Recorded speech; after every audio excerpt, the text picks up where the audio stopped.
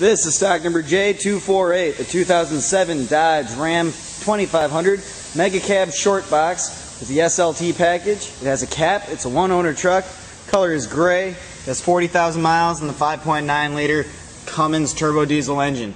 These Dick Cepek tires appear to have about, I'll say 75% of their tread left. You can see the aftermarket rims. Going down this side of the truck, you can see just how shiny and reflective the paint is. There's no dents, dings, or scratches. And that's why we make these videos, because we want to point out anything like that to you before you make your trip down here.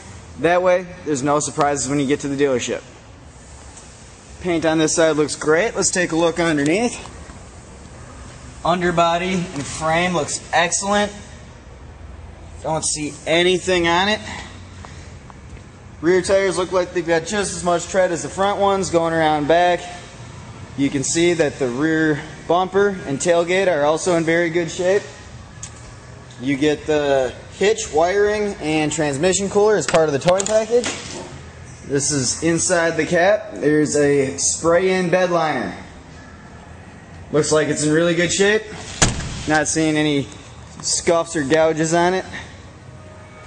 Going down this side, again, very clean paint. No dents, dings, or scratches here either.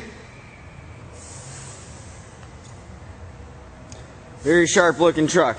Let's take a look inside. You get your power windows, locks, and mirrors. A power adjustable driver's seat with cloth interior. Looks like it's holding up really well. I'm not seeing any rips or tears. There's no stains. Even the floors look good. Take a look in back. This is the Mega Cab. You just get an absolutely big amount of space back here. Just way too much space, almost. Floors look good back here. No rips or tears in the seats.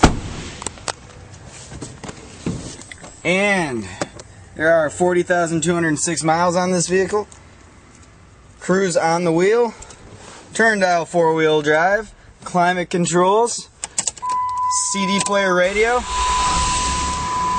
Up above you get your compass temperature and mileage display. Headliner's holding up really well. Everything in this truck looks great. So let's take a look under the hood. Heated, fold out tow mirrors.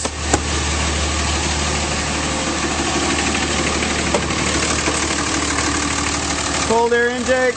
is running nice and smoothly.